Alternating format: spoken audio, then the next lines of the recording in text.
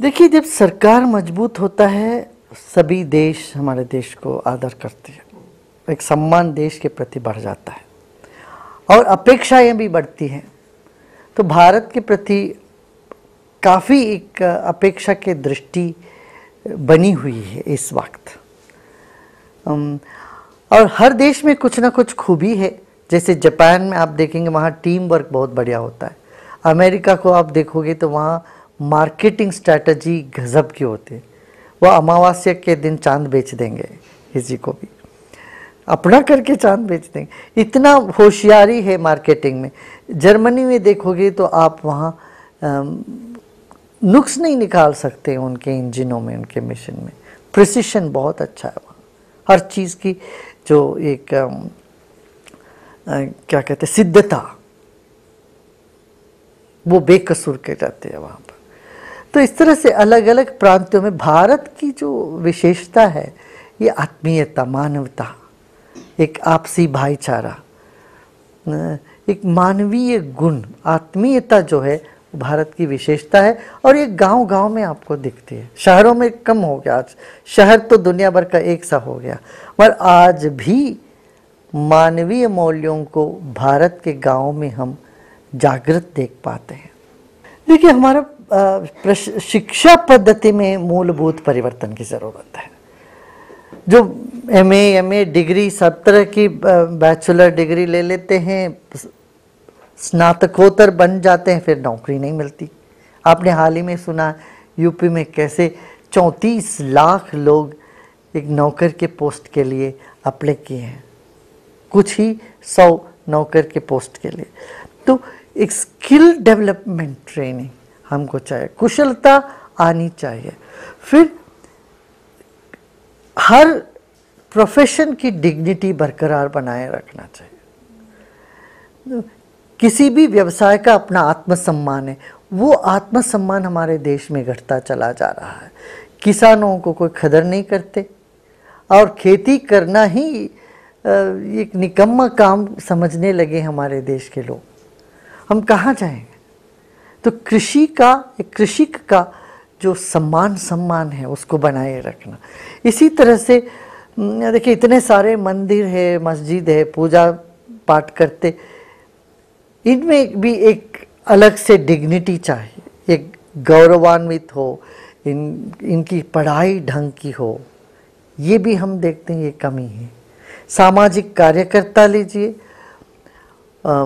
लघु उद्योग और राजनीति में भी, राजनीति के लिए भी एक प्रशिक्षण की आवश्यकता है। मैं इसकी, इस बहुत कमी महसूस करता हूँ इस चीज़ का देश में। राजनीतिज्ञों के लिए ढंग का प्रशिक्षण चाहिए। न केवल सिर्फ़ विधानसभा या विधान परिषद या लोकसभा, लोक राज्यसभा। मैं कह रहा हूँ, ग्राम पंचायत के स्तर पर भी कोई ग्राम पंचायत के सदस्य बन जाते हैं, उनको कुछ पता नहीं चलता है कि उनकी जिम्मेदारियाँ क्या है और क्या क्या वो कर सकते हैं अपने गाँव के लिए। ये, यहाँ पर सबसे बड़ी कमी नज़र आती है। ये एक प्रशिक्षण की आवश्यकता है। और जैसे हमने कहा कि यहाँ काम के लिए बहुत आस्पद है। मौके तो बहुत है यहाँ। और उन मौक़ों को जीवन में लागू करने के लिए दरवाज़ा खोलनी पड़ेगी हमको। तो ये बहुत आवश्यक है, लोगों को अवगत कराएँ। संभावनाएँ क्या क्या है? कहाँ तक वो ऊपर चढ़ सकते हैं? कहाँ तक आप सुधार ला सकते हैं जो परिस्थिति है उनके आसपास की? देखिए केवल सरकार से गरीबी अमीरी के बीच में जो खाई है वो नहीं ख़त्म हो सकती है। दोनों तरफ़ से आना पड़ेगा। गरीब को भी अपना आत्मविश्वास जताना, जतानी पड़ेगी। ये दोनों तरफ़ से होना पड़ेगा। गरीब को भी अपनी आत्मविश्वास जतानी पड़ेगी और अमीर को भी थोड़ा उदार होना पड़ेगा। जब ये ये दोनों होता है, मानसिक परिवर्तन आने लगती है और ये अध्यात्म से संभव है। अध्यात्म गरीब से गरीब लोगों के बीच में भी एक जोश जगा सकता है। अध्यात्म उनके भीतर एक सृजनात्मकता जगा सकती है, आत्मविश्वास जगाती है। अध्यात्म का ये काम है। फिर ऐसे ही अमीर से अमीर व्यक्ति के भीतर अध्यात्म क्या कर सकता है? उन, उनके भीतर करुणा का भाव, एक सेवा का भाव ला सकता है। सरकार काफ़ी अच्छे कदम उठा रहे हैं, मगर उसको प्रत्यक्ष अनुभव होने में मुझे लगता है कुछ समय लग सकता है। क्यों? कोई भी योजना देखिए एक बीज बोते ही हम चाहते हैं तुरंत फल आ जाए वो तो नहीं होता।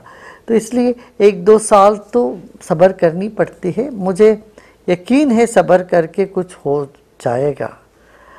आ, मगर सरकार में लूप होल्स भी बहुत है। माने छेद भी बहुत है। इस सबको ठीक करने में प्रधानमंत्री कामयाबी होंगे ऐसा मैं अभी तक आशा रख रहा हूँ। देखिए, हम सच्चे दिल से कोई भी काम लेते हैं, ईश्वर की कृपा होती है उसमें और महत्वपूर्ण काम कोई भी होता हो तो वो मनुष्य प्रयत्न ही नहीं, उसके साथ ईश्वरी शक्ति भी होने से ही होगा। और ऐसा ही होता है।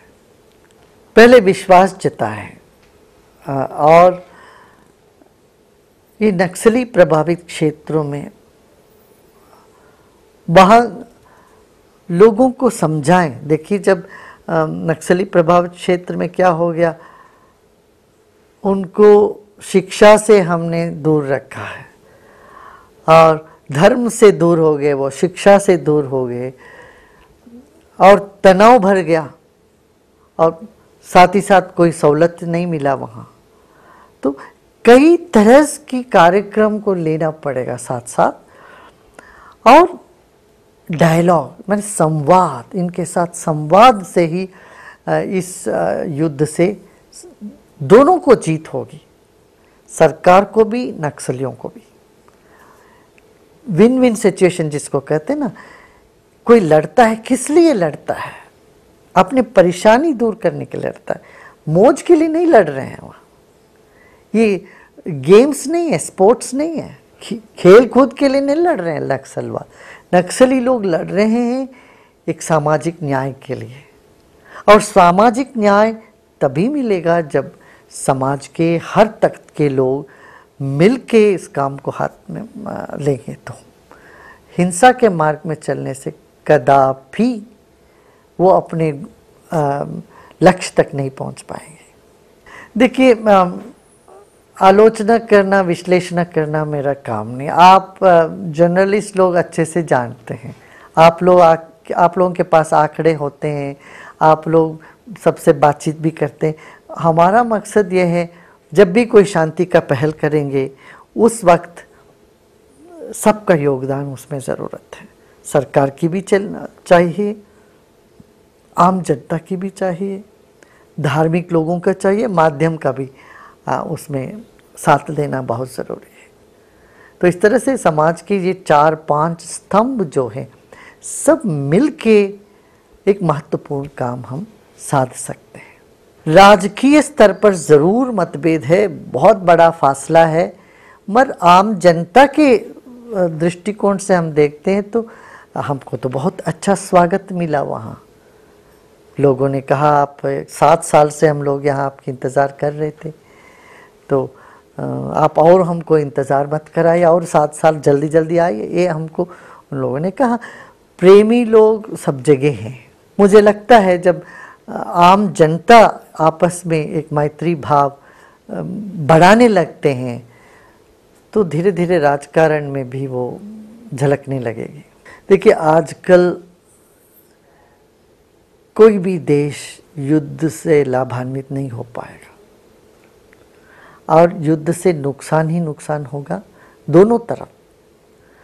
इसलिए युद्ध बुद्धिमत्ता का भाषा नहीं है आज। बातचीत और समझ, जब ये बढ़ते हैं तो युद्ध की संभावना बहुत कम हो जाती है। और इस सबसे पहले आतंकवाद खत्म होना चाहिए। और आतंकवाद का जड़ जो है, वो अविश्वास है। और अंधविश्वास है। अविश्वास और अंधविश्वास। इसको दूर करने की सब प्रयत्न, सबको करना पड़ेगा। भारत का पुराना उक्ति है, वसुधैव कुटुंबकम। उदार चरिता नाम तो वसुधैव कुटुंबकम। हम सब बड़े उदार चरित्र हैं तो सारी दुनिया हमारे परिवार है तो सारी दुनिया के लोग दिल्ली में इकट्ठे हो रहे हैं। पैंतीस वर्ष हुआ जा रहा है अपना ये जो कार्यकलाप हम लोग जब शुरू किए तब से। तो ये सब लोगों की चाह है कि सब इकट्ठे होएँ एक बार और एक भव्य समारोह सब लोग इकट्ठे हो करके वहाँ हर देश की और देश की हर प्रांत की कला को और ज्ञान, ध्यान का एक बड़ा सुंदर उत्सव मना